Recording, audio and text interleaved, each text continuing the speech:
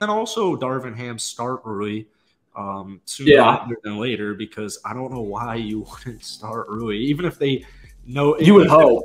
And you start Jarred Vanderbilt. I I don't know how you make that. I love Darvin Ham. I think he did a great job all season, but some of it going on right now, I'm a little questioning. I mean, Rui is. Are we not going to blame LeBron? 38 year old LeBron? Not me personally. For fucking taking like shit. Dude, there were so many games where all he had to do was just back down the post. Okay, people say that as if as if he's not backing down, Mr. Aaron Gordon. Do you know what's the actual body. problem? Do you guys know what the actual problem with the Los Angeles Lakers is? You want to hear it? You want to hear it right now? Transition defense. They're basic. They're basically breaking the number one rule in basic transition defense. Do you guys know what that is? To stop the fucking ball. Okay. Yeah, you cut off the ball for cut off the ball first, and everybody else fills the lane.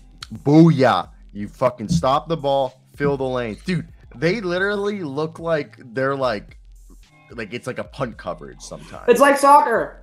They're like they look like the, the Celtics. It's like no, it's like they're it's like the dude with the ball is a fucking defender. They're just letting the defender dribble the ball up. That's what it feels like. It's like yeah. fucking soccer. Like you're nobody to, steps the ball. Yeah, like, you're supposed to stop the ball, then everyone fucking closes the uh, passing yeah. lanes, and you just you stop. They they don't do that. They're the worst transition defense in the league by like a historically almost like by a wide margin. Okay, it's like one of the most inept things I've ever seen. They can't stop the fucking ball in transition. And then the other problem is, is they have not been able to figure out the Jamal Murray, Michael Porter Jr.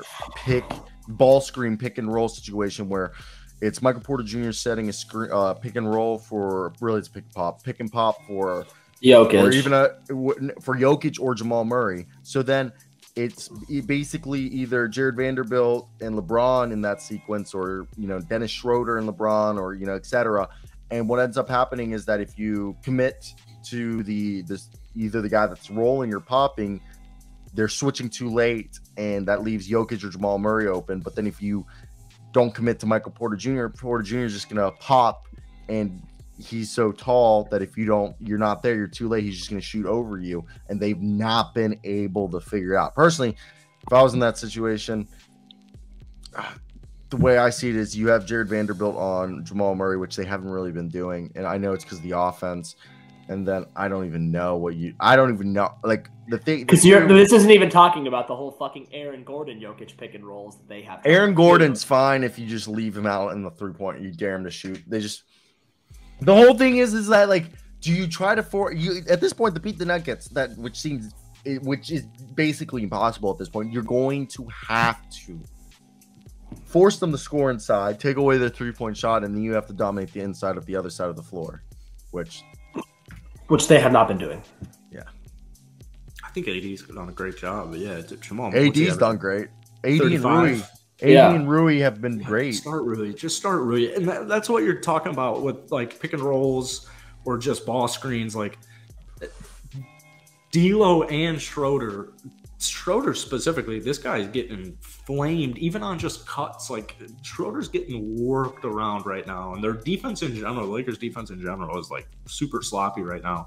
Their offense is super sloppy, but yeah, you can't go like over. You can't go under a, a Jamal Murray Jokic screen if you're the guard because Murray's just gonna pop it. But then if you have Vanderbilt in there, well, Vanderbilt's gonna play.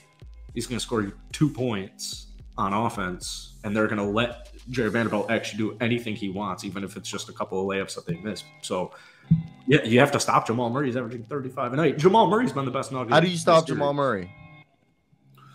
Um, I would start Rui Hachimura and I would get D'Lo on the bench immediately because I Darvin Ham, Darvin Ham's doing a horrible job. He's, oh, yeah, because D'Lo's like that fucking video. Him. I don't want to like upset D'Lo right now. Get his confidence down right now. Like, what, this is playoff basketball. This is NBA basketball, man. You you, you got to know your role, and if you're not knocking down shots, you're a trash defense. D'Lo's a liability right if he's not scoring. Yeah, hundred percent. Like he's like that one video of that one guy who's like, "I ain't gonna lie, I'm getting cooked." That's what it feels like watching D'Lo on defense every possession. Like, dude, oh, I, I saw D'Lo. Dude, I was watching D'Lo when there was still a chance for the Lakers to get back in the game. I think AD got two. Re- so D'Lo shoots a three, misses it. D'Lo gets the rebound, passes it. Uh, uh, AD gets the rebound, passes it. D'Lo. D'Lo shoots it, misses it again, and I think a third time in that possession, D'Lo gets the ball again and misses it. And I was like, man, what? Like, come on, D'Lo. He started the game with a make, and I'm thinking to myself, oh, okay, this is D'Lo's game. He's this fine. is the 30 He's fine pointer. Yeah. Nope. He's had one double digit game, and it was like 10 points. It was game two. Is this a mental thing? Well, shooters I mean- are gonna miss, but I don't. He's crumbling. Players crumble. Um, Kyrie wouldn't. That's why you got to go get Kyrie now. But I, I just I don't even know. Reaves has done a phenomenal job. Rui's done a phenomenal job. AD's done a phenomenal job. LeBron's 38. Like I know LeBron. If LeBron's giving me 23, nine, and eight, like I, I'm gonna have to take it because that's still a great stat line for year 20 LeBron James. But I mean, they're cooked, and the Denver Nuggets are a great basketball team, and I, the media is so annoying about it. Like people are hopping on the Nuggets' dicks and like, blah blah blah. You know, They're the overcorrecting. so- they're they're it's overcorrecting. exactly. It's like They're okay, yes, Because they didn't talk about the Nuggets much, like because in, after the Lakers lost Game One, everybody talked about how the Lakers were fine. So now they're just overcorrecting by like, oh my god, the Nuggets are really good. No shit, they are. They were the one seed in the fucking West. Yeah. Of course they're good. Like we know, like we know that the Nuggets are good. we're surprised by how bad the Lakers are playing, not how su- how surprised Yes. how good the Nuggets are. Like Lakers are playing like dog crap. I mean, they're playing so bad right They're now. like shit And they for me. And it's at the end of the game, as always, as it was all regular season. It's like the Knicks. Like every regular season game of the Knicks, it was tied with six minutes left. Well, in the case of the Lakers, it's you have the lead and they're about to blow the lead, and it happened all season, Russ or no Russ. So I mean, they're cooked, and it is what it is. But resign Rui, resign Reaves, bring in Kyrie, fill out the bench, and you'll be you'll be perfectly fine.